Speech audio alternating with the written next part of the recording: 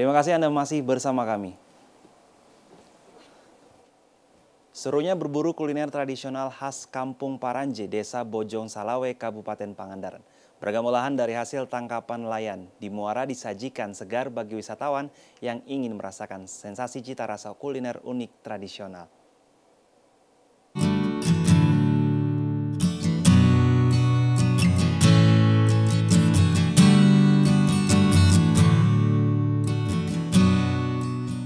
Kampung Paranje, Desa Bojong Salawe, Kecamatan Parigi adalah salah satu wilayah yang memiliki kekayaan fauna melimpah karena berada di antara sungai, muara, dan laut. Di daerah ini, selain kaya akan hasil tangkapan ikan laut, juga ikan tawar dan air payau. Jika cuaca tidak bersahabat untuk melaut, nelayan di Bojong Salawe lebih banyak mencari ikan di muara dan sungai. Fauna yang melimpah di wilayah muara adalah kepiting batu, tuka-tuka atau ikan pari kecil air payau, serta taritip atau kerang muara. Untuk menangkap fauna khas air payau ini, nelayan memiliki cara unik tersendiri. Bisa dengan perangkap di dasar sungai atau dengan menyelam ke dasar muara.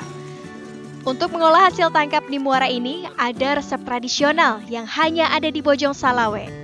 Resep khas ini memberikan sensasi rasa yang berbeda bagi wisatawan yang mencobanya Dipakai apa aja tuh? Ini pakai daun pepaya mentah. Uh. Pakai daun jambu. Satuin. Uh. Tulang rawan makan. Makan biasanya. Kiranya bakal pahit sama kesan. Ternyata pas dimakan. Itu Sejumlah wisatawan yang penasaran sengaja datang ke tempat ini untuk merasakan keunikan dan rasa khas masakan Bojong Salawe. Ini kan ada kawan saya, uh. gitu kan ngasih tahu bahwa di Pangandaran yang tepatnya di Bojong Salawe katanya ada makanan yang unik yang belum pernah dirasakan atau ditemuin sebelumnya ternyata benar luar biasa. Penasaran ya? Penasaran banyak ya? Penasaran di awalnya? penasaran ternyata pas sudah dicicipin ketagihan. Hmm. pasti saya ke sini lagi Olahan tradisional ini adalah kuliner zaman dulu yang sudah jarang ditemukan, bahkan tidak ada di restoran. Salah satu warga yang masih melestarikan kuliner tradisional ini adalah Pupu Puspita.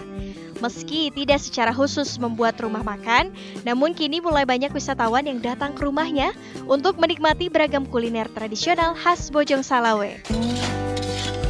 Ya, ini masakan turun-temurun dari nenek mertua saya sampai ke mertua saya dan uh, sampai sekarang saya masih belajar untuk terus hmm. uh, mengolah makanan yang hmm. misalkan dari luar kota.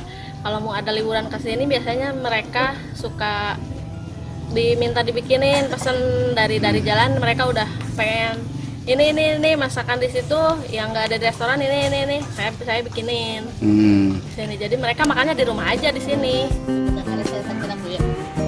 bagi wisatawan yang ingin menjajal masakan tradisional khas Bojong Salawe, harus memesan terlebih dahulu karena ikan segar diambil langsung dari muara sehingga butuh proses untuk menangkap dan mengolahnya.